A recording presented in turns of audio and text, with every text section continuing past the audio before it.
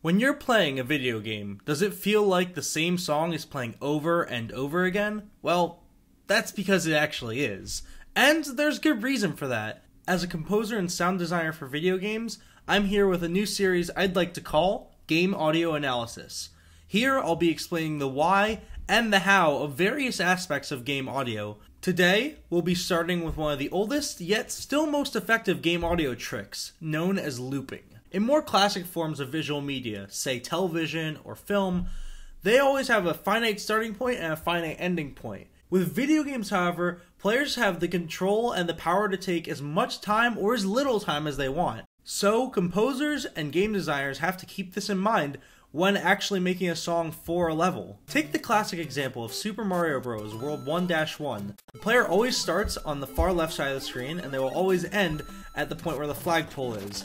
But there are plenty of different areas for the player to explore, and also they could run at different speeds by holding the run button or just walking. The composer needs to take into account that this could keep going on for a long time, or for a really short amount of time, which makes a loopable track that plays over and over again, no matter how long the player goes for, really useful.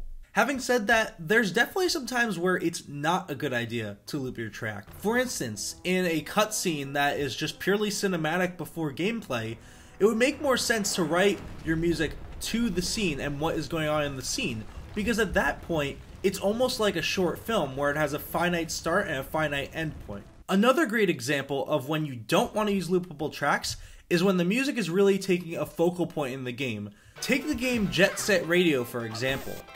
All the characters in that game are listening to music off a radio station, and as with most radio, songs always start, end, and then have a DJ come in and chat about whatever they want with the radio. Then the next song starts. And so it wouldn't make a lot of sense if a track would loop over and over again if the music is actually supposed to be a different part of the game, not as much as background. While there are plenty of good examples of when not to use looped music over the years, we still want to get into how to make the music loop because more times than not, you're going to be using that in your own compositions. Here are a few good tips to keep in mind when you're trying to loop a track in your DAW. Step 1. Make the end of the track relatively similar to the beginning. It doesn't have to be exactly the same, but if it's vastly different, the looping point is very obvious, so it's a good idea to keep them pretty close if you can. Step 2. Watch your reverb tails. If your song has a lot of reverb, it's going to carry on past the end of the track. The issue with this is that once the track ends in game, all that reverb that carries on past the track in your DAW won't appear in the loop. This will make the loop back to the beginning sound extremely abrupt. And finally, step 3. Don't export your loop as an MP3. The MP3 codec, by design, actually leaves a little bit of blank space at the beginning and end of every song. So, if your track were to loop in game, this would actually sound like a little hiccup, and the track would not be looping seamlessly. If you still want a smaller file size, I'd highly recommend using OGG files.